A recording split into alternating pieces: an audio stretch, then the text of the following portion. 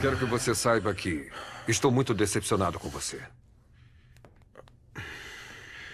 O Ezequiel me disse que você se comportou feito um covarde.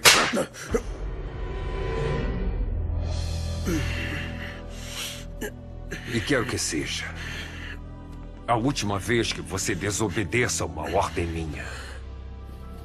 Ficou claro? Eu, eu prefiro não ter nada a ver com isso, Pedro. Eu. Eu. Eu não quero continuar trabalhando com você. É? Comigo não, fofinho. O trabalho comigo é muito diferente. Muito diferente.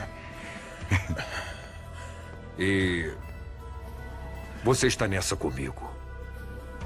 E a única maneira que você tem para sair é dentro de um caixão. Sinto muito por você, fofinho. Mas não pode se arrepender.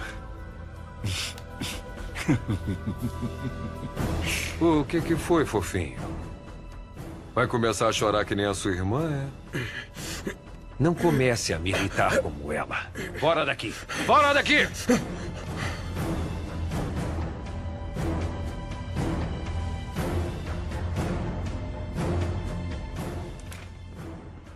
Também quer falar com a Maria Zamúdio, senhor? Não. Deixa ela trancada por alguns dias. Ninguém pode saber que ela está com você. Como quiser, senhor.